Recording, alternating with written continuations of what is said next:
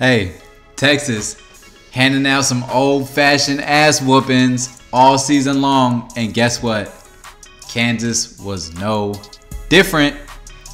We got a lot to cover today. Let's go ahead, let's jump right into it.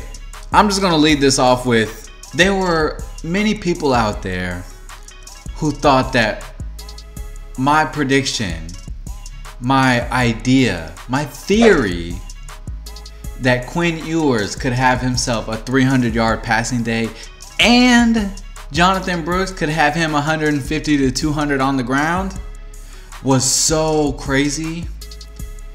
661 yards of total offense. Quinn Ewers, 25 of 35, 325 yards passing, one touchdown on the ground, seven rushes for 40 yards, and two touchdowns with his legs. My man Quinn the Jet Ewers showing why he is the number one dual threat quarterback in America, baby. In all seriousness, an electric performance by Quinn Ewers. Like like what I said, there were things in the Kansas defense that I just saw that were glaring weaknesses that I had seen them display time and time again in all four pre- previous games this season.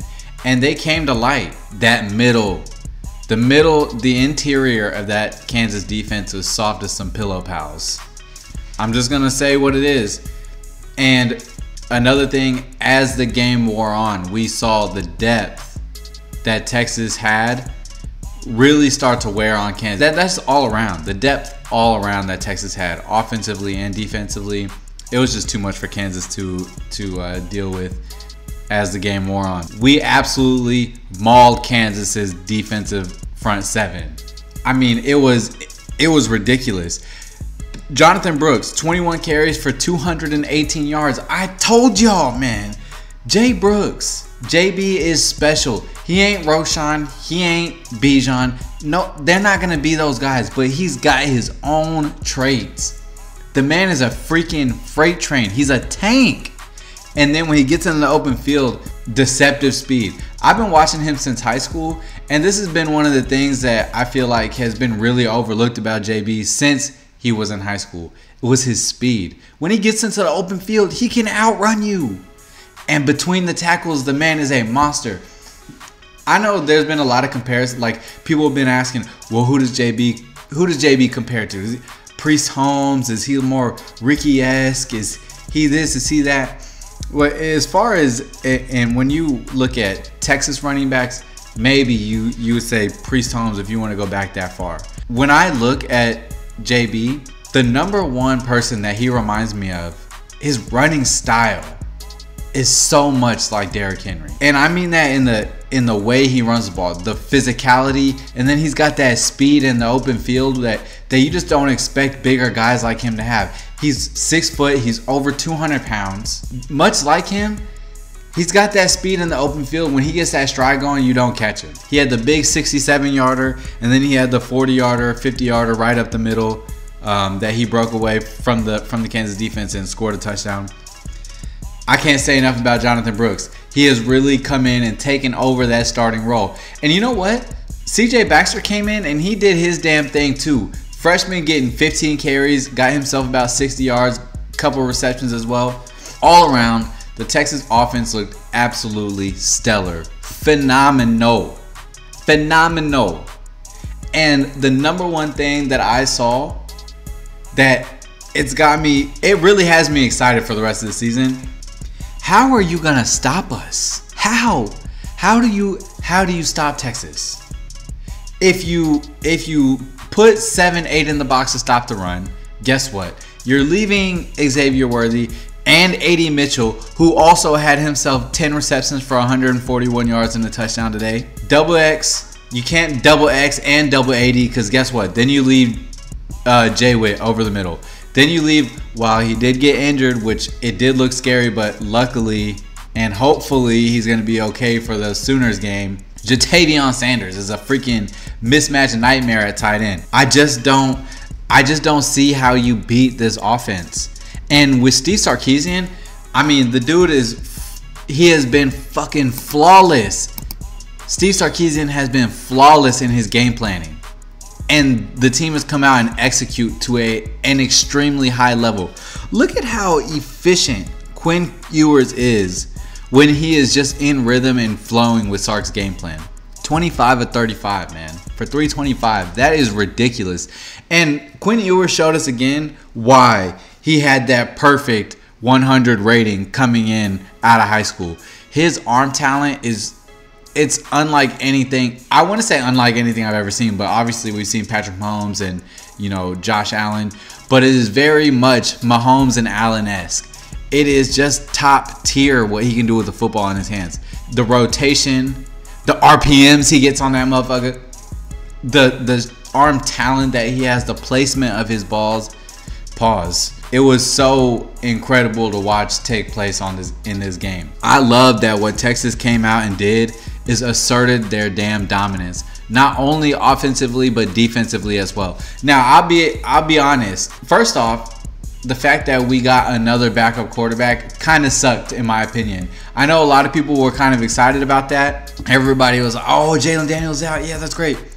I was actually kind of bummed out because I think Jalon Daniels brings so, he brings just a completely different dynamic to that Kansas offense that obviously Jason Bean, while he is a, he's a, he's a serviceable backup, he is obviously not the playmaker at quarterback that Jalon Daniels is.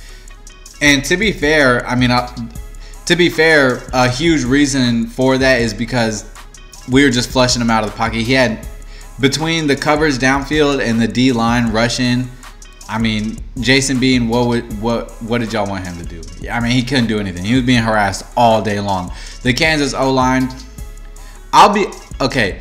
It, it was a mixed day defensively as far as the D line is concerned because we were getting Jason Bean flushed out of the pocket, but we did not have any sacks in this game, which I was quite frankly very surprised about. I thought we were going to have a, a, really good day on the D line as far as getting sacks was concerned. I could, I, I when I looked at Kansas O line, they were they are good and they are a veteran O line, but I thought that there were ways that they were they could be beat, and I saw them get beat in a lot of one on ones. That I was very confident that Texas's D line was going to be able to engage in one on ones and win those battles, and we really we just didn't, right? It and while we got pressure and we forced Jason Bean to throw the ball away all day long, and because the coverage was so good downfield, it looked it looked a lot better defensively, but I was a little disappointed in the D line. I'm not gonna lie. Now, of course, you know the the outside of the few huge runs that they got to begin the game with the speed option, which when they came out running that speed option so effectively, scared the shit out of me. I'm not gonna lie, but I have learned at this point as many of you have by now, I'm sure as well, to trust PK. PK knows what he's doing. He knows how to put the team in the right position to effectively disrupt an offense, and he did that. What did he do? Instead of going to that nickel form, even though he did have Jahdae Barron out there on the field, he didn't do like what he did against Baylor and just completely remove Jahdae Barron. But he moved to a 4-3 base scheme to stop that triple option and a lot of times substituted some nickel in there as well. Got Jahdae Barron on the field. Kansas was rendered completely useless offensively. And again, this is five weeks in a row now where you have to say Texas's defense just rendered the offense completely useless, completely destroyed their entire game plan. Now I know that was destroyed on the onset with the fact that Jalon Daniels uh, was not participating in the game, but you still have other. There's 10 other players on the field. You still have a solid quarterback backup right? There's still plays to be made, and Kansas just couldn't make any plays. Now, again, one glaring concern that I have going into the OU game is the fact that we just keep getting beat deep. I don't understand what it is about our safeties and their eyes, but their eyes are so horrendous at times. We get beat looking in the backfield all the time. And that's why all these receivers are getting over the top on us because we are peeking in the backfield. And now I understand that it's probably because you know that that time clock in the defense's head kind of goes off when they realize it's been three three and a half seconds and with the uh, with the d line that we have they're just automatically expecting that they're getting some block sheds and affecting the quarterback and then you, sure enough, you look back and the ball's being thrown over your head. I I get it to a degree, but that cannot be something that happens consistently. Because we're gonna face O lines that are much better than Kansas, much better than any O line that we face this season, including Alabama. Oklahoma is probably gonna be the best O line that we face this entire season. Just being real, right? And we cannot afford to get our eyes caught looking in the backfield and get burned over the top because Dillon Gabriel will hit those throws. Even Jason Bean, he hit the one. Was it like a 60 yard bomb that he hit over the top where Kitan Crawford is just looking at, I don't know. He literally just watched homie run by his face and take that post over the top, gave him up in the easy touchdown.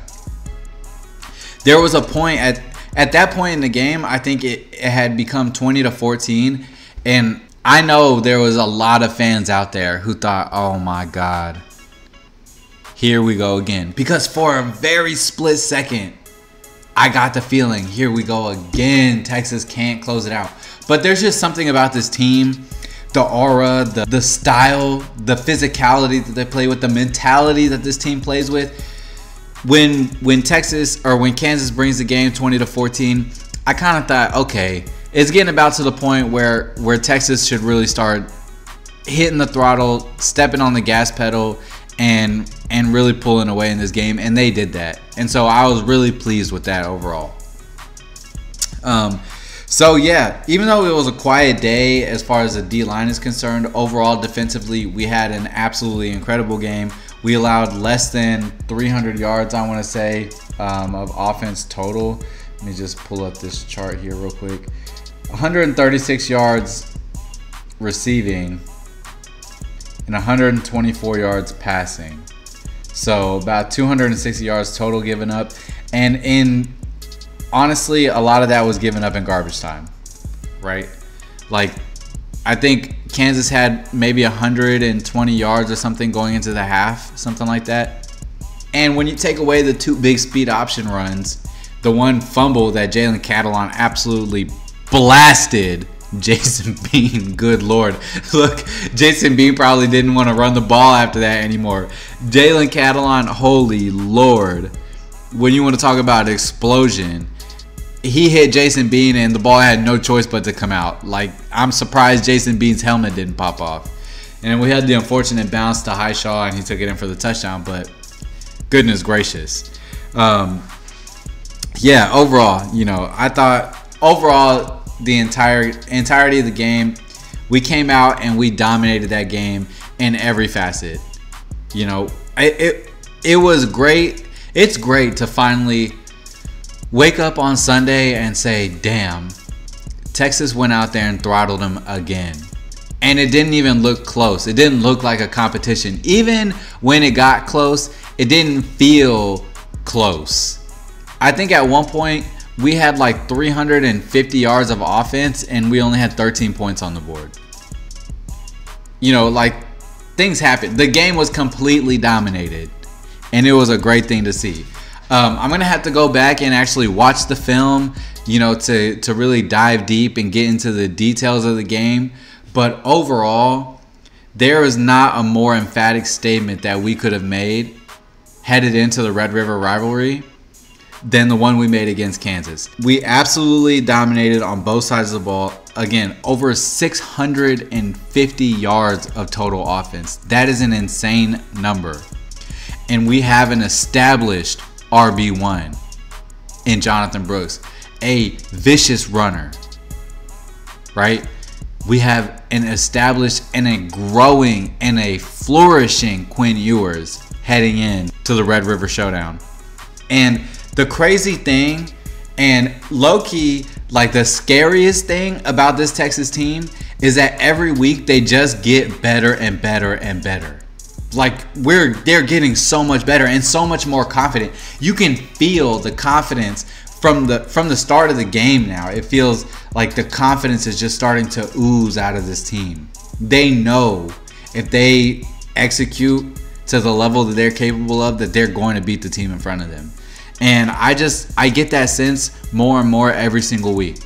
So, yeah, overall, I was extremely pleased. Again, extremely pleased with the game. With the game, um, I know that there are things that could have been cleaned up, and there are things that we'll go, we'll take a look at, and like I said, we'll dive deep into that um, and see where we could get better, where we need to improve, um, and where also I think we're going to be very effective come Red River Showdown time.